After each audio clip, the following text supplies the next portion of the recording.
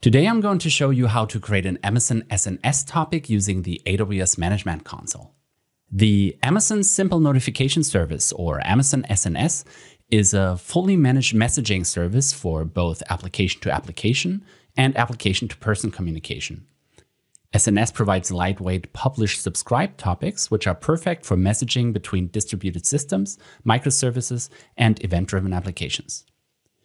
With SNS, publishers can send messages to a topic, which then forwards these messages to the subscribers, such as Lambda functions, SQS queues, and HTTPS endpoints. For application to person communication, SNS can also send the messages as push notifications to mobile apps, text messages to phone numbers, and emails. To create a topic, let's open up the AWS Management Console. Navigate to the SNS dashboard, go to Topics, and click on Create Topic. This is going to ask if we want a FIFO or first in, first out, or a standard topic. FIFO is useful if you want to send strictly ordered messages to Amazon SQS.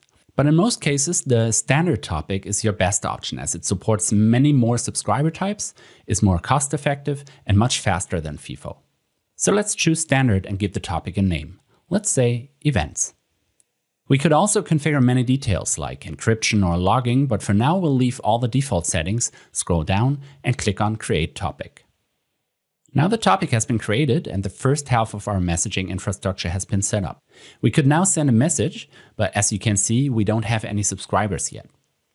So in the next video, we're going to configure this topic so that every new message will automatically be sent to an email address. Don't forget to subscribe and you'll be notified when that video comes out. See you there.